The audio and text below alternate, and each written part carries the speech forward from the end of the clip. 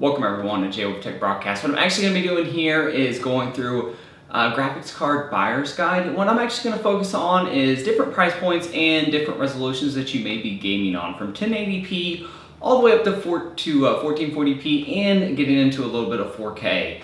That being said, there's many different graphics cards out there that you can actually go about purchasing in different price brackets, uh, depending on what your needs are. So I'm going to try to hit a few uh, key points on each uh, resolution that you may be gaming on and just pick some cards that I would personally choose and hopefully this is uh, helpful to you guys uh, in the future.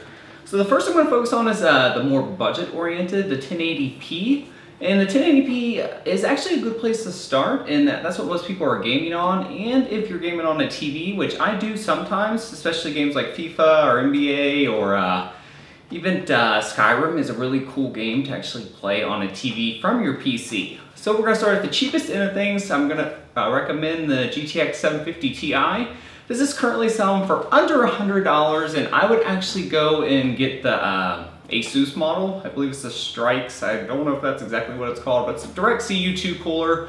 Uh, it runs extremely cool, quiet. It would be great if actually if you're doing it for a second PC, you just want to hook it up to your TV uh, for any type of streaming or uh, light gaming, uh, especially games like Diablo and uh, Skyrim, things like that that don't require a heavy amount of CPU like a Crysis 3. So when we're stepping up for budget here, I want to focus on is if you're playing some more of the more demanding titles, Crysis 3, uh, Metro Last, Last Light, uh, Battlefield, um, there's all kinds of different other games out there that require a little bit more out of your GPU than others might. Uh, even Civilization, which is kind of a CPU intensive game, can also be extremely demanding on your GPU.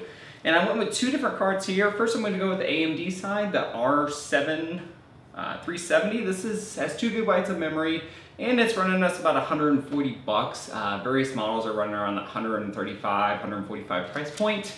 Uh, this would be a great uh, GPU, especially if you're not uh, looking to get into the NVIDIA side of things in the H.265 encoder, which is kind of important if you want to do any type of streaming. But if you're really want to stretch your budget out, this is probably the best card for you for that price point.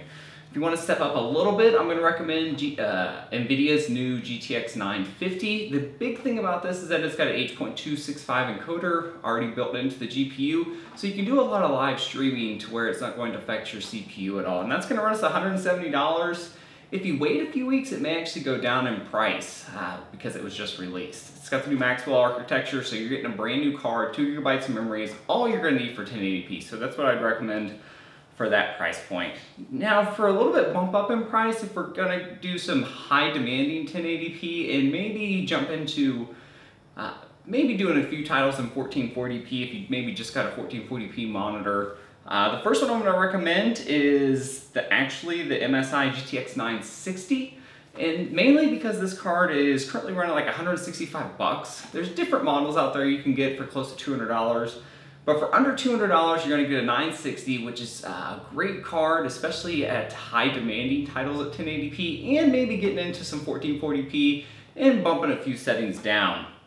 Uh, another card to actually get into is, I chose the XFX version of this, but you could choose other versions, is the R9 380. This does have four gigabytes of memory, so it's gonna be better suited for 1440p if you wanna step into that price point and that's gonna us at $210. They have different models out there if you wanna go with an Asus or Gigabyte.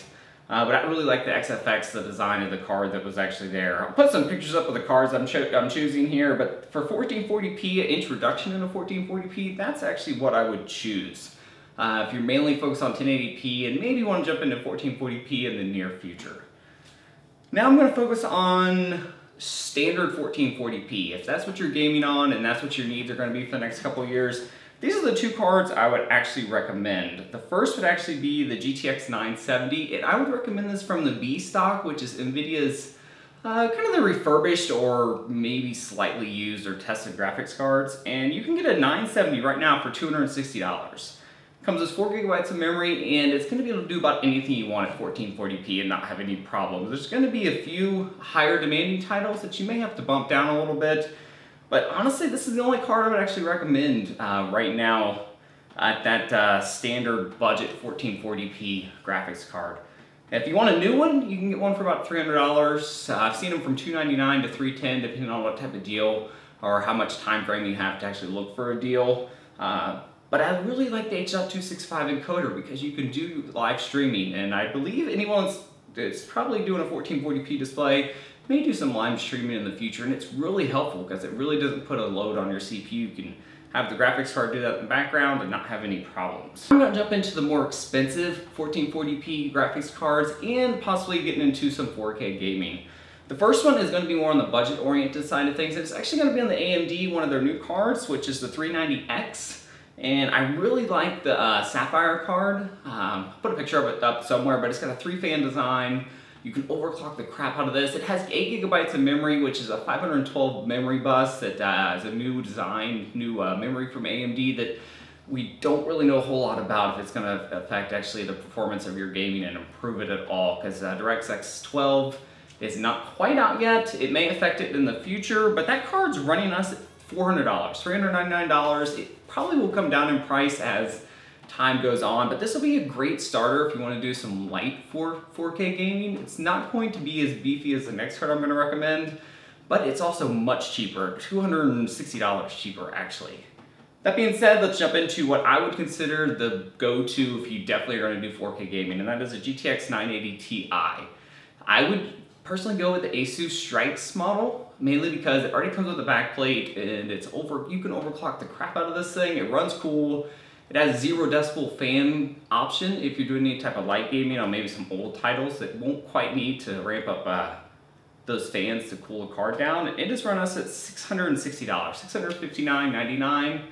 These may come down a little bit in price if you hold out maybe a month or two, uh, but that's really what they've been running. Now you can get an EVGA one for the same price or uh, MSI, um, the Zotac uh, amp it's actually been, I've seen it for uh, 645 before, so if you want to get a cheaper card and you like the design of that, definitely get that. But that is what I would get if I was doing any type of 4K gaming. I would really push into that.